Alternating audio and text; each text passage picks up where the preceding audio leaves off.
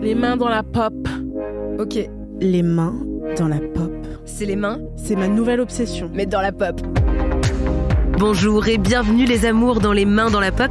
Ici Mao Drama et en face il y a l'incroyable. Audrey. On va parler actu, tendance, décryptage de la pop culture, mais aussi gloire et déboire des célébrités qu'on aime et qu'on déteste en secret. En tout cas, vous pouvez lâcher les réseaux, on scrolle pour vous. Chers amours, bienvenue dans ce 17e épisode des mains dans la pop.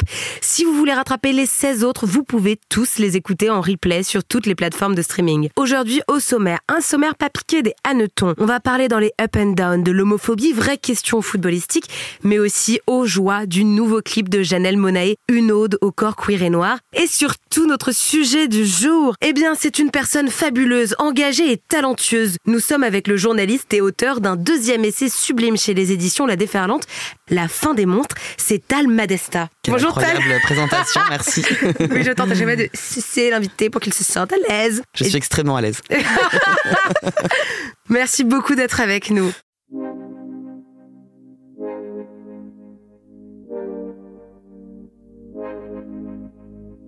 Win ou lose Telle est la question. Quel loser. C'est ma nouvelle. Elle, je l'aime trop. Le gagnant ou le perdant de la semaine. Roulement de tambour. Winner ou loser. Euh, je vais donner la parole à Mao. Je sais pas par quoi tu veux commencer. On va commencer par le négatif. Je préfère commencer par. euh, Ok, encore Les mauvaises nouvelles. Une bonne, une mauvaise nouvelle? Une mauvaise nouvelle. Écoutez, euh, je sais que c'est un pavé dans la mare. Je rigole absolument pas. Nous allons parler de la question homophobe dans le football. Tout commençait bien. Ça aurait même pu être une win.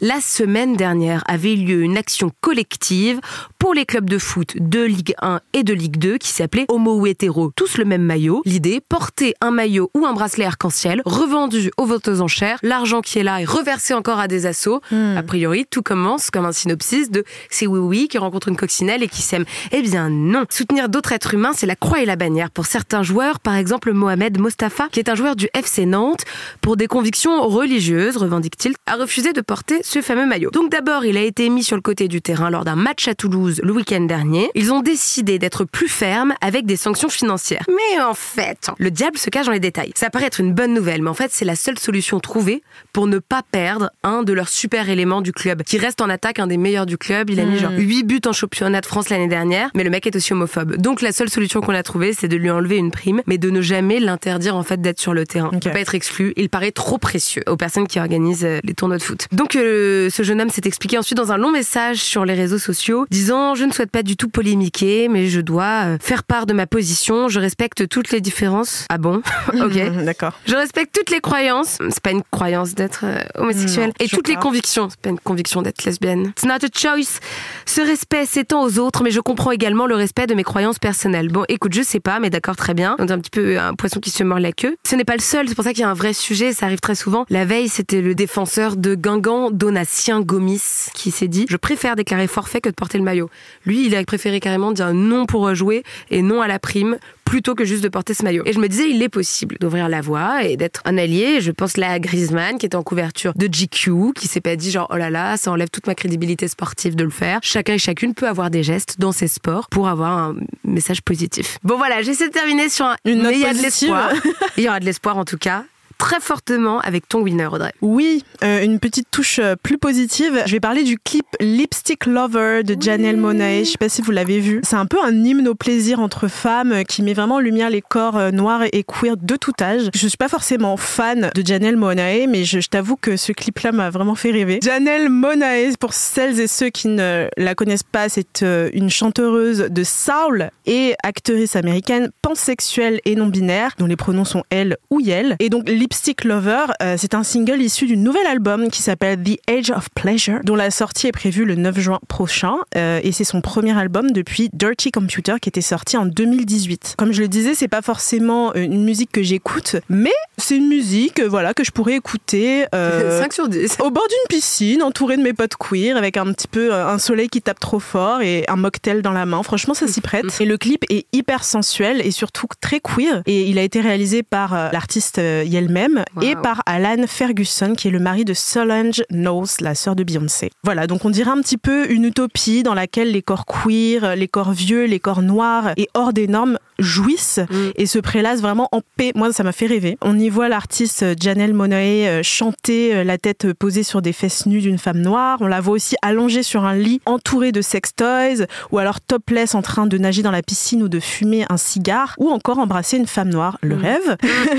On voit aussi une femme noire et butch d'un certain âge euh, posée seins nus. Bref, en tout cas, c'est un tableau que je trouve assez jouissif qui montre une libération totale des corps queer et noirs. Et c'est vraiment euh, pour moi une célébration de, l'expression euh, du désir queer. Et d'ailleurs, l'artiste s'est exprimé dans le magazine Stéréogum et elle a dit Lipstick Lover, c'est notre oasis faite avec amour, enracinée dans l'acceptation de soi, palpitante dans la découverte de soi et signée de baisers rouges, cerises, de moi à vous. Elle explique aussi qu'elle a eu une ère de dépression, une ère d'anxiété, une ère de lutte et que maintenant c'était l'ère du plaisir. Magnifique. Et franchement, ça la donne lutte dans la envie. joie, toujours le sujet dont on parle. Exactement, de célébration. Voilà, bon. Petit bémol, moi je trouve que ça reprend quand même les codes de certains clips avec beaucoup euh, de sexualisation, de nudité et de fesses, mais ça fait du bien de voir de telles représentations bah, revues euh, au goût euh, d'un autre gaze que celui des hommes blancs, cis et hétéros. Voilà, je, je vous invite à regarder le clip, à écouter la musique si, ça, si le cœur vous en dit. Et je ne sais pas si notre invité Tal a un winner de la semaine. Alors oui, Audrey, j'ai un winner de la semaine du coup euh, que j'ai trouvé en 3 secondes et demie. Mais je dirais, alors je sais pas si on en a déjà parlé avant parce que c'est pas non plus euh, récent, récent. Enfin, ça c'est Ouais. pas sorti il y a 2-3 jours quoi. Euh, mais je pensais au documentaire euh, Guet-apens des crimes invisibles qui a été produit par Mediapart Mhm. et qui parle du coup Mm. des guet-apens homophobes qui sont tendus aux hommes gays sur les applications et du coup Mediapart fait une enquête assez formidable sur le comptage de ces crimes parce qu'on n'avait aucune donnée dessus la manière dont c'est fait va à la rencontre des victimes etc donc voilà je vous le conseille si, si vous pouvez le voir parce que même si le sujet est pas très joyeux ça fait du bien d'avoir juste voilà des, des faits qui sont documentés sur des violences euh, parce qu'on sait que voilà ne pas avoir de chiffres euh, permet aussi d'éviter de saisir la réalité euh, de ces faits là donc voilà je sais pas si c'est très optimiste mais Si, euh, c'est cool. C'est une très bonne reco. Pour moi, c'est une démarche, voilà, une- Tu vois, je vais le mettre dans mes notes d'aller le voir. Je l'ai pas vu à l'époque ce documentaire, donc. euh, Ouais, et puis, et puis je suis très sensible aussi euh, au travail journalistique euh, de qualité comme celui-là et je pense que voilà, c'est hyper important d'avoir euh, accès à ça. Trop bien, merci beaucoup. Et toi, Mao, est-ce que tu as un winner ou une winneuse? Oui, j'ai un winner, c'est aussi un documentaire euh, Arte qui s'appelle Sortir de l'ombre de Anne Rock, produit par Momento et France Télévisions. J'admets que j'ai entendu parler de, de ce documentaire parce que mon ami Noam Sinso, qui est euh, un humoriste, poète et super vogueur, fait partie des interviewés principaux et c'est même lui qui est sur la fiche du documentaire. Je vous résume le film. Des plages de la Martinique aux rues de Paris, le documentaire Sortir de l'ombre s'attache à retracer la quête de liberté, poursuivie depuis leur plus jeune âge par Noam, Brice, Léon, Angel et Alan. Ils sont martiniquais, leur parcours et leurs histoires sont uniques. Pourtant, chacun d'entre eux a depuis toujours été défini par le fait qu'il aime différemment. Pour survivre, ils ont dû pendant longtemps rester invisibles, silencieux, constamment rattrapés par la gravité du regard social qui leur pèse. Et c'est vrai qu'il y a un extrait que j'ai vu sur les réseaux sociaux où Noam explique sa vision pour lui de l'homophobie dans l'île de laquelle il vient, où il dit bah je trouve pas que c'est de l'homophobie genre pure et dure euh, où on te frappe et tout, mais où on t'invisibilise. C'est exactement ces mots où il dit tu n'existes pas, on te fait croire que tu n'existes pas. Donc je suis ravie aussi. Je sais que Noam euh, a souffert euh, d'harcèlement scolaire notamment et que le parcours près de sa famille a été très complexe. Donc je suis ravie aujourd'hui qu'il soit parmi d'autres dans la lumière et qu'il puisse euh, exprimer euh, tout son parcours. Et le film d'ailleurs se concentre plus sur leur identité que sur l'homosexualité et qui sont-ils devenus à Mhm. partir de ce début-là. Donc voilà, allez voir ce documentaire Sortir de l'ombre. Cool, j'irai voir. Bon, ça faisait quand même un peu trop de bonne humeur, toutes ces bonnes recos. Aurais-tu un loser, Audrey? Oui, je vais faire euh, la rabat-joie. Euh, du coup, pour moi, euh, le, plutôt les losers de la semaine, c'est bah, tous les gens qui travaillent encore avec Johnny Depp, puisqu'il y en a encore pas mal. on se souvient des accusations de violence conjugale adressées à l'encontre de l'acteur. On se Mhm. souvient du verdict d'un des procès rendus en faveur de Johnny Depp. On se souvient aussi du procès en diffamation qui a été vraiment surmédiatisé en juillet Mhm. 2020, il me semble, ou encore du traitement misogyne de ce procès. Voilà, avec Amber Heard qui était tourné en ridicule transformé en mème, Mm. alors même qu'il y avait des preuves accablantes qui Mm, sont mm. depuis sorties contre Johnny Depp, notamment des captures d'écran et des enregistrements audio avec son meilleur pote euh, Marilyn Manson. Ça veut Ah bah tout tiens, dire. lui aussi épinglé d'ailleurs. Ouais, qui révèle voilà des propos racistes, pédocriminels, des menaces de viol et de violence à l'encontre de Amber Heard, voilà. Et malgré tout ça, la carrière de Depp, bah, elle continue, elle décolle même. Les fameuses accusations qui Exact, détruisent qui des vies. détruisent la vie des hommes. Exactement. Alors, il y a notamment Pierre Ninet, hein, le soi-disant féministe qui avait tourné dans le clip Balance ton quoi d'Angèle euh, avec un t-shirt Anti-Sexism Academy. Et ben, il va collaborer avec Johnny Depp pour un biopic sur l'artiste euh, Amedeo euh, Modigliani. Et voilà, il a affirmé sur Twitter vivre un véritable rêve avec cette collaboration avec Johnny Depp. Voilà. Donc, euh, est-ce qu'on est déçu? Est-ce qu'on est choqué? Moi, personnellement, Moi, non. mon étonnement est proche de moins 10 000. Donc euh, voilà. Exactement. Puis ça contraste un petit peu avec euh, Adèle Haenel qui, en ce moment même, abandonne le cinéma pour toutes ces raisons, hein, pour toute cette hypocrisie. D'autant plus que, je voudrais pas dire, mais euh, le nom de Pierre Ninet n'apparaît pas dans la tribune en soutien à l'actrice qui vient de sortir dans Libération. Donc pour moi, ça veut tout dire. Et puis il y a aussi Dior qui signe un contrat de 20 millions d'euros rien que ça avec l'acteur, on le rappelle, accusé et condamné de violence conjugale pour un contrat de 3 ans. Donc voilà, on dirait un petit peu que le buzz du procès euh, fait vibrer les marques euh, qui voilà une opportunité euh, marketing en or. Et puis il y avait aussi Rihanna qui en avait fait son égérie pour le défilé de sa marque Fenty ou encore Mywen, mais alors là on n'est pas pas très étonné ici. Alors, qui- Mywen, c'est encore pire là, je pense. c'est clair. Cette stratosphérique euh, qu'il a fait jouer dans, dans son dernier film. Voilà. En, en attendant, il y a Amber Heard qui est partie vivre en Espagne et qui a complètement abandonné euh, sa carrière euh, d'actrice. Donc c'est un sacré contraste. Mais comme tu le disais, Tal, à part ça, les accusations de viol et ou de violence détruisent les vies des hommes accusés. Non, mais on dirait que euh, le, deux- le second procès a du coup annulé les conclusions du premier, Hmm. alors que le second procès n'annule pas le fait que les faits de violence conjugale, Pas du tout. qui sont en plus extrêmement violents, hein, enfin Mhm. voilà, euh, enfin c'est c'est pas annulé en fait. Non, du tout. je trouve ouais. ça assez fou à quel point euh, l'opinion publique elle puisse se retourner hyper facilement contre. euh, Hyper Il y facilement. avait un documentaire, je crois qu'il est sur Netflix, où il raconte aussi l'influence des mascus sur les réseaux sociaux, qui serait en grande partie responsable du fait que l'opinion publique, justement, s'est Mhm. retournée à oublier. En gros, euh, il submergeait tout Twitter et tout Insta en diabolisant euh, la victime. ouais. Ouais, ça a été hyper bien fait. Enfin, et ouais, ils ont été tellement, tellement nombreux. un matraquage ça- médiatique, quoi. Ouais, et moi, jusqu'à ce documentaire, euh, je me rappelle que j'avais oublié le premier procès aussi. Bah oui, oui, non, mais je pense que c'est un, une manipulation directe de l'information, hein, clairement. euh. Eh ben en tout cas, on n'est pas rendu. Tal, est-ce que tu veux continuer sur cette lancée négative? Yes, j'adore les mauvaises nouvelles. C'est parti. Non, moi je pensais au tout récent euh, rapport euh, de la Fondation Jean Jaurès qui vient de sortir sur euh, la haine anti-LGBT euh, et qui montre qu'il y a une euh, très nette euh, augmentation des signalements euh, pour euh, des faits d'homophobie, de, lesbophobie, de transphobie. Euh, donc on est sur une hausse de 53,58% Waouh. de ces faits-là euh, par rapport à 2021, euh, dont euh, aussi une écrasante majorité dans les, de cette grande augmentation euh, des faits de violence pour euh, les personnes trans. Donc euh, évidemment, moi je trouve ça euh, très logique au regard justement du traitement médiatique des Mhm. parcours trans. À partir du moment où on parle constamment de nous en instrumentalisant la peur qu'on constitue pour les enfants, euh, Hmm. pour la famille, euh, pour le reste de la société, etc. Bon bah forcément, euh, la Ouais. sanction arrive très vite derrière quoi. Voilà, c'était ça ma mauvaise nouvelle euh, Oui. de la semaine. Le sujet de la On semaine. va parler de quoi cette semaine? Vous avez des idées? Ultra cringe. On peut dire que c'est vraiment nul ou pas? Elle a osé.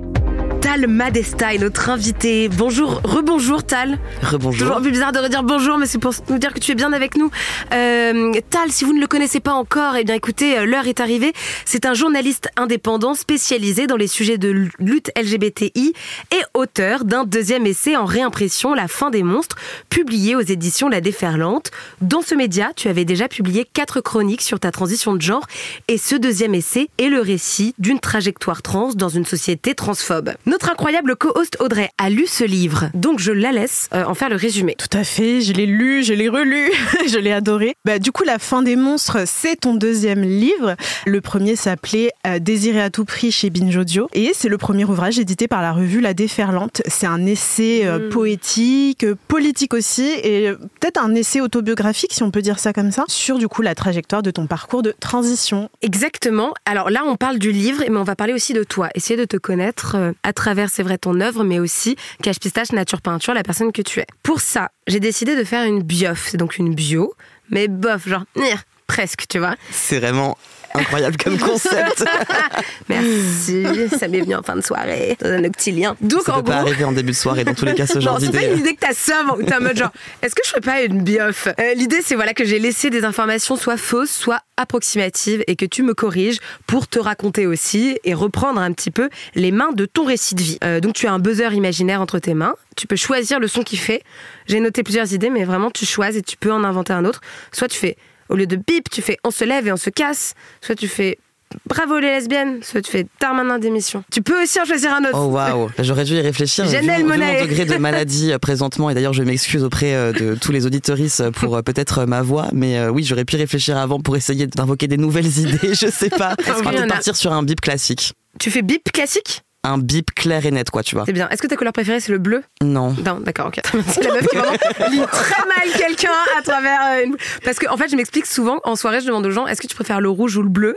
Et j'ai toujours considéré que le bleu était quand même un petit peu plus rationnel, tu vois, un petit peu plus pratique. Et du coup, j'ai cru que c'est ce que tu étais en train de Ah, m'avouer. D'accord. du tout. Je me disais quel rapport. Mm. ok, C'est quoi ta couleur préférée? Écoute, euh, je partirais sur un petit lilas, tu vois. Ah oui. Ouais. je comprends. Eh ben, Mm. tu comprends l'attrait pour le lilas. je, vraiment, faut pas que je devienne voyante, quoi. Alors, tu t'appelles Tal, tu as entre 16 et 30 ans, nul ne sait. Est-ce qu'il y a un bip? Est-ce que Il n'y a pas de bip. Nul ne saura jamais. Ce sera son secret pour toujours. Tu euh, habites à Paris, mais tu viens d'une planète appelée Courage. C'est une façon pour que tu m'arrêtes et que tu nous dises où est-ce que tu es né. Alors, euh, j'ai grandi dans le sud de la France, à Nice. Ok, oh waouh. Donc euh, voilà, une planète où justement il fallait du courage. Donc t'es pas tombé bien loin finalement, parce clair. que quand on est queer et qu'on grandit dans le sud de la France, c'est un petit peu compliqué. Je pense qu'on peut le dire. Donc ouais, finalement pas si faux que ça. Et tu es arrivé à Paris à quel âge? Euh, pour mes études, donc euh, à 17 ans, après mon bac. Tu me disais juste avant que tu avais un penchant euh, pour le drama. Du coup, je me demandais si ton signe astrologique était scorpion. Et du coup, pas du tout, mais en même temps, pas loin encore une fois, car c'est un signe La complémentaire. charte astrale. La charte non, je suis euh, taureau, euh, ascendant cancer, lune en bélier, donc voilà, il paraît quand même que ça, ça, Ça génère un quoi. peu de drame. Voilà. En tout cas, le drame, ça génère aussi beaucoup de passion, beaucoup euh, d'amour. Je parle là de ta grand-mère qui est chère à ton cœur. Tu fais un hommage à elle au début du livre, puisqu'elle a été un pilier alors que les violences conjugales euh, émaillaient euh, ton foyer familial. Dans l'interview, tu racontais que l'amour était pour toi une force, même politique, hein, un pilier à avoir. T'as amené aussi peut-être vers les collages féministes qui sont cette première pierre à l'engagement dont tu me parlais euh, à l'instant. Ensuite, tu commences ta transition de genre en 2020 et tu es une plume sur les réseaux sociaux qui est repérée par des journalistes influents comme Victoire Toyon, euh, Elvire Duvel-Charles ou Affida Turner. Oui, Alors il y a une erreur glissée là-dedans. oui, c'est clairement victoire, mais j'aurais vraiment aimé me faire découvrir par Affida Turner. Ah. voilà, peut-être dans une autre vie, qui sait. Afida, si tu nous entends. Voilà, exactement. Il est jamais trop tard. Mais oui, effectivement, ça a commencé avec euh, Victoire euh, qui Voilà. m'a invité dans un épisode euh, du cœur sur la table. Et effectivement, il y a eu un avant-après, euh, si je peux dire, Mm. euh, dans, dans ma carrière, euh, notamment ma carrière d'écriture, puisque c'est elle qui m'a permis de d'écrire mon premier essai, donc Désiré à tout prix. Comment ça, elle t'a permis? C'est-à-dire qu'elle t'a donné des outils ou elle t'a donné. c'est sa collection. C'est pour Ouais. ça que c'est été publié chez Binge. Exactement. La collection sur la table, c'est la Mhm. collection qui est dirigée par Victoire. Et donc, ça a été une rencontre professionnelle, mais aussi personnelle avec Victoire Toyon. Oui, bah c'est sûr que c'était hyper émouvant la première fois qu'on a enregistré ensemble parce que bah, je parlais de sujets qui étaient très douloureux pour moi et en même temps il y avait beaucoup de choses qui se passaient à ce moment-là. C'était plus ou moins en début de transition, mais je savais pas encore trop où j'allais, donc je me Mhm. sentais assez vulnérable et du coup d'avoir cet espace pour parler d'amour, pour parler de toutes les violences que j'avais pu vivre avant, etc. Ça, ça a été très très fort. Ce premier essai, justement, il sort euh, en 2021, si je me trompe pas. 2022. Merci, euh, erreur que j'ai fait exprès évidemment pour que tu m'apprennes, qui s'appelle donc Désirer à tout prix sur la surperformance du corps dans l'amour. Tu parlais de sexualité euh, obligatoire et euh, comment vivre hors des normes hétéropatriarcales était l'enjeu de ce livre. C'est un véritable succès vendu à 15 000 exemplaires. Tu me reprennent pour dire que c'est encore plus. Alors non, c'est pas encore plus. là, je t'ai- dit le 17 nombre de 000. tirages tout à l'heure, pas le nombre de ventes. C'est deux, deux choses différentes. Mais non, je peux pas, je, je peux jamais savoir en temps réel combien d'exemplaires sont vendus, c'est impossible parce qu'on a l'information tous les six mois ou un an. Quel retour euh, lors de lorsque tu signais ce livre t'a le plus marqué? Je sais pas s'il y en a un plus que les autres, mais peut-être le, caractère justement collectif des retours, c'est-à-dire que c'était toujours un peu le même sur le fait que euh, les personnes euh, avaient l'impression que euh, ça venait résoudre quelque chose d'hyper bloqué en elles depuis des années, euh, qu'elles auraient aimé lire ça avant et que ça les aurait peut-être mis sur un autre chemin, le fait que ça a pu complètement anéantir un ensemble de d'auto-violence qu'elles s'imposaient dans la sexualité. Enfin voilà, si, si j'ai pu ne serait-ce que soulager ça chez une personne, c'est gagné quoi. Donc voilà, non, je suis hyper content des retours euh, que j'ai eu pour le livre. Est-ce que ces essais, euh, ça t'a réparé, mais c'était aussi une façon de réparer les autres en même temps? C'est une thérapie pour soi peut la devenir pour les autres. Ouais, bah oui, et puis c'est aussi tout l'enjeu, je pense, de la collection sur la table, parce que il y a beaucoup d'approches personnelles ou individuelles. Enfin, on se raconte beaucoup. Moi, je me mm. raconte beaucoup dans ce livre, mais forcément, on parle pas de soi pour parler de soi. Enfin, on s'en fout un peu de mm. juste raconter sa vie. Je pense que partir de soi pour parler des autres. Oui, voilà, exactement. Et c'est d'ailleurs ce que je fais aussi dans la fin des monstres. Si je parle de mon parcours, c'est simplement pour illustrer un propos derrière, pour le rendre beaucoup plus palpable, beaucoup plus concret. C'est pas pour parler de moi en soi. Ça a pas trop mm. d'intérêt, quoi. Donc. Je comprends, mais j'ai exactement la même réflexion artistique avec le stand-up. Parler de soi, j'ai juste un écran pour parler des autres. Cette transition, justement, suscite un certain rejet de la part de certains membres de ta famille, mais il y avait un double rejet qui était aussi du rejet et de la méfiance euh, lors des collages féministes. Je me dis que pour toi, ça a dû être extrêmement complexe. Euh, Alors non, pour le coup, euh, il y avait aussi du coup un truc faux et un truc vrai. Vas-y, dis-moi. Parce non, mais que parce que oui, effectivement, ma transition a, a pas été bien prise forcément, et c'est un euphémisme par ma famille, par certains membres de ma famille en tout mm. cas. Mais par contre, dans les collages, il n'y a pas de question parce que j'ai quitté les collages avant de commencer ma transition. Donc. D'accord, ok. J'ai cru que c'est quelque chose qui t'avait touché ou qui avait pu te bouleverser. Eh bien, je crois que nous arrivons à la fin de cette biof. Apparemment, ton souhait avec la fin des monstres, c'est que des familles puissent lire ce livre pour réagir normalement bien au coming out trans d'un de leurs proches et que notamment euh, ta mère était devenue une super alliée. Et voilà, savoir si. Alors c'était c'était un petit peu ironique quand j'ai dit ça. Ah ouais. Mais enfin c'est dans le sens où effectivement le livre euh, a, a, changé quelque chose en elle, ça c'est clair. De là à dire qu'elle est devenue une super alliée, bon on n'y est pas encore, mais mais je, je, reste optimiste. Hein, on sait jamais ce qui peut se passer dans le futur.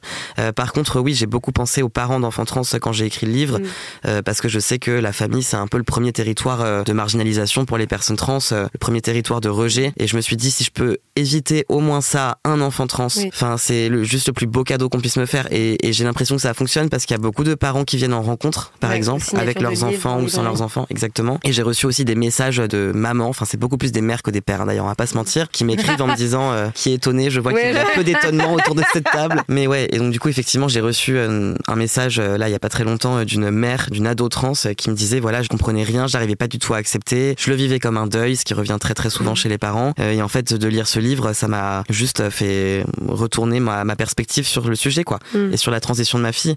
Et ça, pour moi, c'est juste inestimable parce que je me dis, là, on parle d'une ado trans, d'une mineure qui aurait pu être complètement seule dans son parcours. Merci beaucoup, en tout cas, Tal, de m'avoir euh, aidé à écrire cette bio avec toi pour qu'elle ne soit plus une biof, mais enfin une bio. Et je laisse maintenant euh, la parole à Audrey. Oui, Tal, on se connaît bien, euh, mais moi, j'aimerais bien te poser des questions que j'ai pas l'habitude de te poser autour d'un verre. Oh. du coup, on s'est connus à travers l'interview de ton premier livre, Désiré à tout prix, qui parle de l'injonction à la sexualité cis et c'est un peu une ode à d'autres formes d'amour, notamment l'amour euh, communautaire. Et je trouve que c'est un petit peu pareil aussi euh, que ce que tu racontes dans le dernier chapitre de ton livre, dédié aussi à l'amour. Est-ce que c'est ça la solution pour tuer euh, les monstres, l'amour Waouh, magnifique comme question. Effectivement, on se connaît, donc euh, tu sais à quel point euh, je suis un grand romantique. Donc, donc oui, oui, l'amour a une place très importante dans ma vie. Bah, c'est un, un rempart, c'est un bouclier, l'amour. Et je pense que c'est pas anodin que justement toutes les réflexions qui sont faites sur l'amour, la famille choisie, les autres manières de faire famille, etc., hmm. ce soit des réflexions issues des marges, parce que souvent c'est des femmes lesbiennes, des femmes racisées, des personnes trans qui, qui mettent à jour ce type de savoir-là. Et c'est justement parce qu'on en est privé et parce que, euh, ou en tout cas, on veut nous empêcher d'y accéder et que on doit forcément euh, agir avec créativité pour euh, recréer des sphères familiales qu'on nous a arrachées. Pour voilà quoi. J'ai oublié du coup le début de ta question, mais ah oui sur l'amour. Bah oui, non mais du coup effectivement dans, dans ce cadre-là, l'amour, je le prends comme un sujet politique et ça revient dans les deux livres parce que c'est fondamental. Si on n'a pas d'amour, on est juste assigné à l'infini à l'isolement. Mhm. Et donc tu l'as bien expliqué, la fin des monstres, c'est à la fois la fin espérée en tout cas des personnes trans vues comme monstrueuses et, pathologisées. Et c'est aussi et surtout la fin des vrais monstres, à savoir les transphobes. La fin des monstres, on l'a vu, ça peut passer par l'amour, l'amour communautaire, mais est-ce mm. que tu as d'autres euh, armes pour pouvoir chasser ces monstres? Euh, Moi, à mon échelle, je pense que c'est vraiment écrire. Mm. Parce que du coup, par exemple, dans la fin des monstres, euh, je reviens beaucoup sur les rhétoriques anti-trans, mm. donc sur les grands arguments, notamment des féministes transphobes, hein, mais la question de la détransition, les enfants trans qui serait pris dans, bah, par une espèce de lobby LGBT, de secte. Euh, bon bref, c'est toujours un petit peu les mêmes choses qui reviennent sur le fait que femme ou homme euh, n'est pas un sentiment, comme si les personnes trans disaient ça. Enfin, hmm. euh, il y, a, y, a, plein de choses comme ça. Et en fait, d'écrire là-dessus et de répondre avec des chiffres, avec des données objectives, ça permet de remettre la raison un peu à notre endroit parce que ce qu'on nous oppose, c'est souvent la folie, la déviance, etc. Mmh. alors que elle, justement, c'est des arguments biologiques, donc c'est des arguments naturels, factuels, sur lesquels on peut pas revenir. Et donc, du coup, toute ma démarche, ça a été de renverser ça aussi pour montrer que le fantasme total était de leur côté et pas d'une autre. Tu as d'abord commencé ta collaboration avec la déferlante à travers différentes chroniques. Est-ce que tu peux nous expliquer un petit peu comment euh, ces différentes chroniques se sont transformées en un récit? Oui, bah effectivement, euh, j'avais commencé les premières chroniques euh, dans la revue qui prenaient un petit peu le même format que le livre aujourd'hui. En fait, c'est des chapitres thématiques sur la transition où je parlais du rapport à l'amour, du rapport à l'espace public, du rapport à la masculinité et comment on la construit quand on est un homme trans. Donc voilà, j'avais écrit là-dessus et on s'est dit avec l'équipe qu'il y avait encore plein de choses à aborder, plein de choses à dire. Et puis surtout, on est quand même à un moment médiatique et politique qui est très mortifère pour les personnes trans. Mhm. Et on s'est dit que ça faisait du sens au regard de l'actualité de, euh, de, lancer ce livre maintenant. Et d'ailleurs, là, tu parles euh, du, du regard médiatique euh, sur les personnes trans et on sait combien ça peut coûter aux personnes trans d'être aussi vulnérables publiquement, puisque dans le livre, il y a plein de passages assez personnels et très intimes. Est-ce que tu as eu à un moment donné des doutes, des peurs, que ce soit pendant l'écriture ou même pendant la promotion du livre? Oui, oui, oui, j'ai eu des doutes et des peurs tout le long, bah, mhm. notamment dans le chapitre où je parle du doute. Donc j'ai douté le fait d'écrire sur le doute. Euh, enfin bon, on va pas s'en sortir si on commence comme ça, mais bien sûr, à partir du moment où on s'expose et qu'on essaie de montrer aussi euh, une image euh, nuancée des transitions, bah forcément, comme on rentre pas dans cette espèce de narratif établi de ce qu'il faut dire pour pas se faire tomber dessus. Je donne cet exemple-là, mais parce que pour mhm. moi c'est le meilleur. Mais parler du fait de douter de transitionner, mhm. c'était un risque forcément parce que ça peut être tourné contre nous, quoi. Donc oui, j'ai eu beaucoup beaucoup de peur, mais au bout d'un moment, j'ai remarqué que souvent c'est dans ces moments-là justement de grande tension dans l'écriture où on se dit, je sens qu'il se passe quelque chose et en même temps si j'y vais, je prends tellement de risques que souvent c'est ça qui résonne énormément chez les lecteurs et les lectrices. Et c'est ce qui se passe aujourd'hui. Euh, le chapitre sur le doute, par exemple, c'est celui dont on parle le plus. Parce que justement, comme c'est un endroit de vulnérabilité, c'est un endroit qui parle aux personnes qui lisent. Et comment est-ce que tu as fait face à ces doutes et à ces peurs dans l'écriture? Comme un taureau, quoi. Euh, je me suis dit, bon, on écrit quand même. Euh, ouais, ouais, ouais, non. J'essayais en tout cas de pas penser aux personnes qui me liraient dans le futur et de me concentrer sur le moment où le livre est juste un document Word sur un ordi, quoi. Et hmm. je pense que c'est hyper dur à faire de pas penser au regard des autres pendant l'écriture. Ça, c'est, je trouve, un vrai sujet, notamment quand on écrit euh, sur les parcours trans et que du coup, on pense aussi à sa communauté, à comment elle va recevoir le livre. Enfin, j'avais surtout peur de ça. J'avais pas du tout peur euh, de nos opposants politiques entre guillemets. Leur mmh. avis m'intéresse pas, leur validation m'intéresse pas. Euh, par contre, que le livre parle euh, aux personnes qui comptent pour moi, oui, ça c'est important. Et donc dans ce livre-là, il y a différents moments de vie qui, qui voilà reprennent un petit peu ta trajectoire à travers dix parties. Donc entre autres, s'oublier, sauter, s'inventer, aimer. Dans mmh. quelle partie de ta vie tu te trouves actuellement si tu devais lui donner un nom? C'est tellement une bonne question, mais du coup c'est pareil. c'est en trois mots. Du coup, tu tu me pardonneras, hein, mais ce serait euh, prendre le temps. Prendre le temps. Là, j'ai l'impression d'être dans une dans un moment de ma vie où euh, j'ai passé euh, toute l'espèce de frénésie du début de transition, où ça s'arrête jamais, où c'est vraiment on va de rendez-vous en enfin en psychiatre, en médecin, en endocrinologue, en chirurgien. On doit gérer sa famille, on doit gérer tout ce qui se passe en matière de oui changement d'état civil, etc. Enfin bon, c'est quand même très frénétique quoi la transition. Mhm. Là, j'ai l'impression de plus rentrer dans un moment où je peux aussi profiter de tout ce que j'ai dû déployer ces dernières années pour pour, euh, hmm. pour me sentir bien. Et du coup, euh, c'est assez étrange. C'est une temporalité très douce et lente, donc euh, j'essaye de l'apprivoiser. C'est un peu ça mon. On n'a pas toujours l'habitude. Mais justement, tu parlais des difficultés administratives et dans ton livre et même au quotidien, tu mets beaucoup l'accent sur ça, euh, montrer les difficultés concrètes auxquelles les personnes trans font face, euh, donc notamment euh, en termes de changement d'état civil et toutes les complications administratives qui en découlent. Est-ce que tu peux nous en parler un petit peu plus et nous dire quelles seraient les actions concrètes qui pourraient justement aider à, améliorer cette situation? Oui, bien sûr. Ben, le changement d'état civil en France, c'est une procédure qui est judiciarisée, donc ça veut dire que c'est pas autodéterminé. On doit passer devant un juge et c'est le juge qui décide si on a accès ou pas au changement d'état civil. Et en France, la preuve principale c'est la preuve par les pairs. Donc il faut qu'il y ait une reconnaissance par l'entourage, une reconnaissance par la sphère professionnelle, amicale, familiale. Donc euh, une des preuves principales, ça va être les lettres de témoins, par exemple. Et donc l'idée, c'est de former un dossier qui peut faire plusieurs dizaines de pages. Dans mon cas, il en faisait 70. On est sur un petit mémoire quand même euh, pour prouver que euh, voilà, on se présente bien en tant qu'homme ou femme au cas où on mentirait parce que je sais pas qui qui ferait ça, mais voilà, c'est beaucoup de temps perdu pour pas grand chose, mais mais voilà. Et donc on se présente ensuite devant un juge avec le dossier. on est convoqué en tout cas cas par le juge, qui prend sa décision. Et, et là, c'est un petit peu, j'en parle dans le livre, mais il y a la théorie et la pratique. en théorie, le juge doit prendre sa décision sur la reconnaissance par les pairs. En pratique, il juge beaucoup le physique. En fait, il juge si on ressemble assez à des hommes ou des femmes, ce qui est clairement interdit. Enfin, c'est une discrimination. T'es là à l'audience où il y a des photos de toi dans le dossier Comment... Alors justement, par exemple, les photos ne sont non seulement pas obligatoires, mais elles ne sont pas censées être demandées pour le pour le dossier. En pratique, moi, on m'a appelé en me disant, vous avez oublié les photos dans le dossier. si vous les envoyez pas, ça va être compliqué. Donc, et pour tout le monde, c'est pareil. On nous demande aussi, je sais pas, ça peut être les ordonnances de traitement hormonal. Pareil, ce qui est complètement interdit. On peut pas conditionner un changement d'état civil à un traitement médicamenteux, ça n'a pas de sens. Donc voilà, c'est c'est un petit peu à, l'image de tout le reste du parcours de transition, c'est-à-dire que il y a la théorie, il y a la loi et il y a la pratique où c'est des embûches sur embûches sur mmh. embûches et ça s'arrête un peu jamais.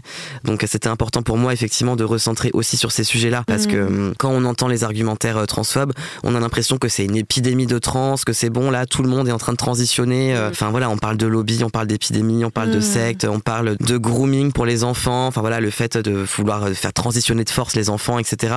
Euh, donc l'idée finalement que la transition elle serait facile et accessible. donc je pense que tout l'objet du livre c'était de dire vraiment pas du tout. et si vous pensez ça, vous connaissez pas de personne trans. Ce qui est sûrement le cas. Et si c'est la fin des monstres, c'est le début de quoi, Tal? Parce que la fin suppose le début de quelque chose d'autre? Bah, moi, quand je dis la fin des monstres, ce que j'entends, c'est la réhumanisation des personnes trans. Mhm. Donc peut-être euh, le début de la reconnaissance de notre humanité, parce que c'est ça qui nous manque. C'est-à-dire, euh, encore une fois, euh, un accès à sa propre autonomie corporelle, le fait de pouvoir décider son état civil, de pouvoir décider si on va avoir accès à tel ou tel traitement sans passer par des psychiatres qui ne comprennent rien à nos parcours, le fait de pouvoir dire qui on est notre famille sans être menacé de la perdre. C'est, je pense que le parcours de transition, c'est vraiment un parcours de perte d'autonomie. Alors que bon, c'est censé être un moment où justement euh, on fait quelque chose pour soi en fait, euh, pour son corps, pour être bien. Et assez paradoxalement, euh, c'est aussi beaucoup d'agentivité qui nous est enlevée tout le long du parcours. Donc oui, je dirais ça. Le début enfin de, du fait de nous voir pour qui on est vraiment. Et j'avais une question qui n'a pas forcément de rapport avec le livre, mais c'est une question que je me suis toujours posée. Tu publies pas mal sur Patreon où on peut te mm. soutenir et tu publies des articles accessibles par abonnement. Est-ce que c'est né euh, d'une envie de créer un lien plus direct avec les gens qui te suivent ou est-ce que c'est un moyen de contourner un peu la précarisation de la pige? Parce que je sais que moi j'ai des difficultés parfois à vendre des articles qui sont très euh, politiques et politisés. Donc est-ce que c'était le cas pour toi? T'as tout résumé,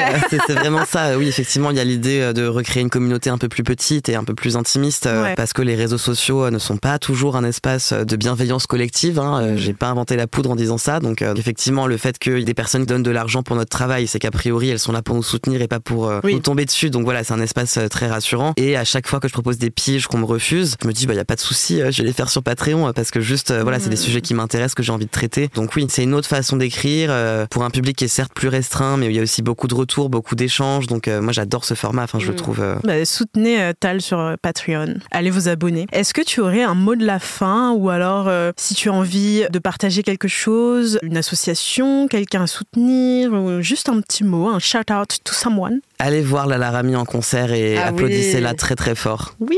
Voilà, ce sera ça mon mot de la fin. Super, bah, super joli mot de la fin. Merci beaucoup Tal. Ah, merci à vous pour, euh, pour l'invitation. Aujourd'hui, pour cette évangélisation, alors c'est assez bizarre, je vais parler de la mairie de Caen. Audrey, écoute-moi bien. Justement, j'ai peut-être une winneuse des winneuses. J'ai décidé de parler d'une info, mais l'info la plus mignonne. Genre vraiment, c'est comme si Miss France sous stéroïde avait fait un gangbang avec les mignons, les toutes petites figures. L'info, c'est celle-ci. La ville de Caen distribue des coccinelles à ses habitants pour lutter contre les pucerons et éviter l'utilisation de pesticides. Oui, mais c'est trop mignon. Moi aussi, je veux des coccinelles. Oui. Alors, c'est une information mignonne, quand même, sauf pour les pucerons qui, eux, ne doivent pas faire un vœu quand ils croisent une coccinelle. Mais c'est aussi l'info la plus mignonne. Et en même temps, je me dis, tiens, je ne savais pas que la mairie de Caen était sous MD. Parce que clairement, je pense pas que c'est une idée que t'as sobre. Je pense que c'est une idée que t'as allongée à 4 heures du mat dans des toilettes avec une meuf et t'es en mode, regarde les étoiles. T'imagines si les étoiles, bah, elles étaient en fait des coccinelles et les coccinelles, elles étaient remboursées par un conseil municipal. C'est un peu ça, cette information. Le maire de Caen, tu n'as pas de photo devant toi. Je vais juste me permettre de le décrire. Il est blanc, il a des cheveux gris, il a une tête normé, il a un peu. C'est un peu le mec non mais qui ressemble à si un attaché caisse était un humain. Genre quand tu le vois, t'as un peu envie d'ouvrir un PEL. Mais comme quoi, il ne faut pas juger justement un livre de compte à sa couverture. Si j'avais une oreillette, je serais en mode vous me dites? Ah oui, il a été assureur. Ah, dans une banque. Ah, dans une banque mutualiste. Ah, il est du parti républicain. Ah, mais comme quoi, justement, il faut aussi saluer les bonnes idées, même quand elles viennent de la droite, apparaît comme par hasard, il veut faire bosser les petites mains. En tout cas, avec sa robe rouge à pois noirs, les coccinelles sont les nouvelles égéries de cette collection printemps-été. Et qui aurait pu prédire que le rouge et le noir sauveraient le monde Jeanne Masse. Voilà, je décide de finir cette évangélisation sur une blague de boumeuse.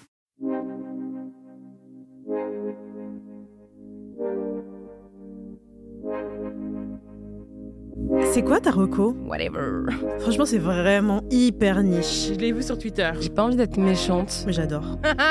C'est l'heure de la reco intello. Pour vous, j'ai épluché les programmations des musées, j'ai chiné les dernières sorties de bouquins et j'ai même passé en revue la liste des événements sur Facebook. C'est pour dire. Tout ça pour vous pondre une reco culturelle que même votre pote le plus artsy ne connaît pas. Cette semaine, c'est un film Coming of Age que je vous recommande en partenariat avec Univers Ciné. Univers Ciné, si vous ne connaissez pas, c'est une plateforme de streaming euh, assez classique, mais Mm. entièrement dédiée au cinéma indépendant. Alors j'ai accepté de parler d'un des films du catalogue qui s'appelle Palm Trees and Power Lines, notamment parce qu'il traite d'un sujet tabou qui est peu abordé euh, dans ce genre de film. Et c'est un film qui a été réalisé par Jamie Dack et qui a été adapté de son court métrage éponyme. Alors Jamie Dack, je ne la connaissais pas, mais j'ai fait mes petites recherches. C'est une réalisatrice et scénariste américaine. Et Palm Trees and Power Lines, c'est euh, son premier long métrage. Et ce que j'aime bien euh, dans son travail, c'est qu'on voit clairement qu'elle s'inspire de la photographie.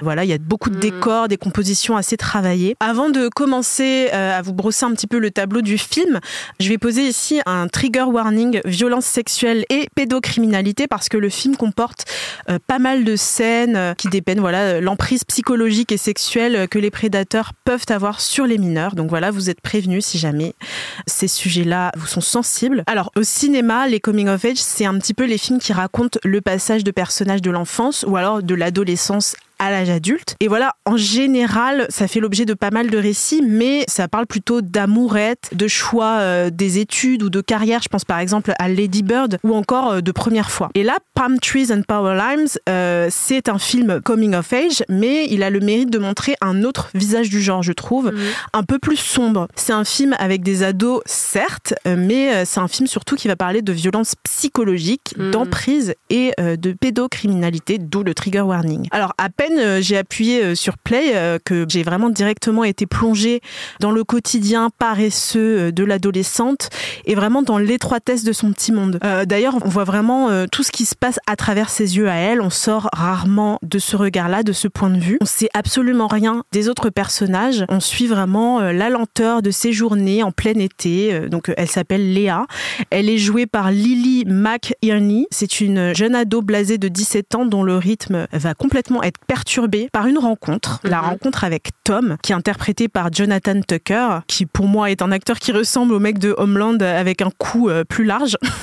Vraiment, j'ai cru euh, les premières secondes que c'était lui. Alors jusque-là, c'est Mimi tout plein, ça sonne comme un amour de vacances, mais la violence est vraiment sous-jacente et elle s'installe doucement dans l'intrigue et elle est vraiment cachée par le rythme lent Mm. du film. Alors en fait, Tom, il se révèle en fait être un pointeur euh, qui pourrait vraiment être son père. C'est un, un jeune père, euh, certes, mais tout de même, elle, elle a 17 ans et lui, il en a 34, pile le double de son âge. Elle est mineure, euh, voilà, elle a encore une liste de fournitures scolaires pour préparer la rentrée prochaine et lui, bah, il a l'âge de conduire, l'âge de boire, de s'endetter sur 20 ans et, et de payer des impôts. Il a surtout l'âge d'être un prédateur sexuel. Donc il faut dire que leur rencontre, elle commence euh, par des yeux-tages insistants, par même une scène de harcèlement où Tom, bah, il va se mettre à suivre Léa en voiture en pleine nuit, même après qu'elle ait refusé qu'il la ramène euh, lorsqu'elle rentrait à pied chez elle. Et il est un petit peu là, voilà, euh, dans sa voiture, fenêtre grande ouverte, un bras nonchalamment posé sur le rebord de sa caisse. Puis on le regarde déblatérer tout un tas de banalités euh, sur un ton euh, très paternaliste. Mais Léa, elle, euh, elle a pas le regard critique d'un ou d'une adulte et voilà, elle se laisse un peu amadouer. Elle exprime un petit peu des réticences, mais elles sont vite balayées par le bagou en fait de Tom qui la brosse carrément dans le sens du poil. Et puis donc à plusieurs reprises, il va un peu feindre le respect et l'écoute. Voilà, s'il veut la ramener en voiture, bah, c'est parce qu'il a peur qu'elle rentre seule. S'il la suit, c'est parce qu'il veut la protéger. Et il demande même son consentement avant de l'embrasser, juste après après lui avoir demandé son âge.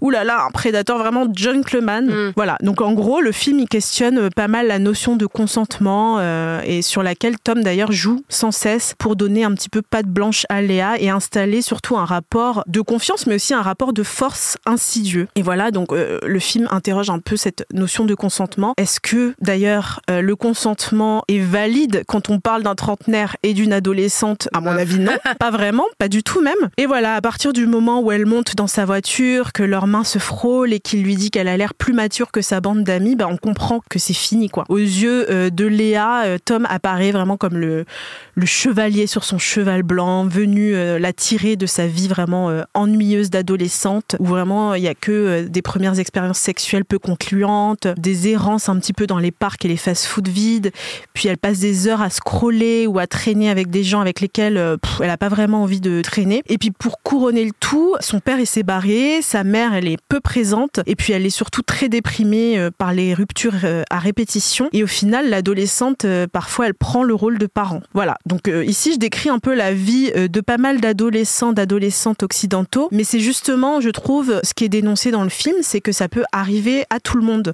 à n'importe qui, surtout quand on est adolescent, adolescente. Puis il y a tout un tas de choses qui se passent et qui montrent bien l'emprise de Tom sur Léa, identification d'une cible vulnérable avec peu de soutien social, flatterie, isolement, dévalorisation, gaslighting, peur ou violence. On voit vraiment que Tom, il va suivre toutes les étapes euh, du pédocriminel manipulateur typique. Et c'est évident quand on le voit avec des yeux d'adulte, mais ça l'est beaucoup moins euh, quand on a 17 ans. D'autant plus que les moments de tendresse euh, et de complicité dans les lieux publics réussissent à amortir les accès un peu abusifs et les comportements douteux de Tom, qui ont d'ailleurs toujours lieu dans des lieux privés et coupés du regard un petit peu extérieur. Donc voilà, on se rend compte que sa possessivité, elle revêt un petit peu l'apparat du romantisme pour l'adolescente, qui elle est en mal de reconnaissance. Et puis ensuite, il y a cette scène, une scène euh, au cours de laquelle le piège se referme. Mm. La situation, elle va prendre une tournure beaucoup plus sombre que ce qu'elle était déjà, et ça va vraiment nous déstabiliser au même titre que ça déstabilise le personnage Léa. Je ne vais pas vous spoiler, mais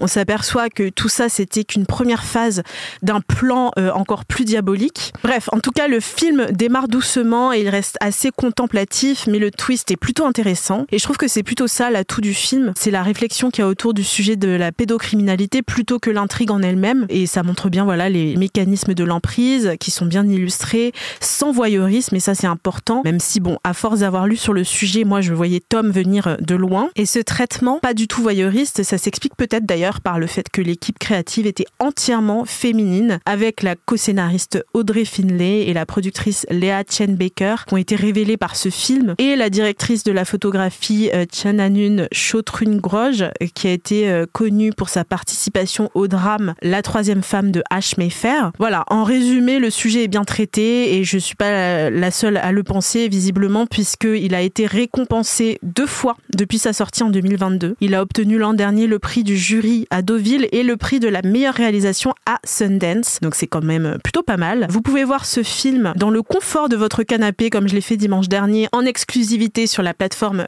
Univers Ciné. C'est une plateforme, je le rappelle, de vidéos à la demande complètement indépendante et française avec un catalogue de 11 000 films indépendants allant euh, de la comédie au drame, il y a un petit peu de tout. Et en streamant sur Univers Ciné, euh, vous soutenez le cinéma français et euh, les films d'auteuristes à l'international, donc c'est plutôt pas mal. Personnellement, j'ai déjà repéré un petit peu des films à regarder sur la plateforme que j'avais pas pu découvrir au cinéma, comme par exemple La Belle Saison, Ellie et Abby ou encore Twin Peaks. Donc voilà, si vous êtes cinéphile, courez-y. Euh, merci Audrey, merci à Tal d'avoir été avec nous. Euh, nous ne manquerons pas d'aller voir le catalogue d'Univers Ciné et surtout, nous ne manquerons pas d'aller acheter le dernier essai de notre invité du jour, Tal Madesta, à la fin des monstres. Voilà que vous dire à part euh, faites des vœux devant les coccinelles, elles contribuent à sauver la planète. Aimez-vous les uns les autres et à jeudi prochain. Bye Les mains dans la pop est une émission de nouvelles écoutes, animée par Mao Drama, et Audrey Coupé de Kermadec, produite par Julien Neuville, montage, mixage et enregistrement par Livio Boulanger au studio Artistique Palace, directrice générale adjointe Nora Issem, directrice artistique Aurore Mailleux, directrice des productions Marion Gourdon, directrice commerciale Emmanuel Fortunato, chargée de production Cassandra de Carvalho.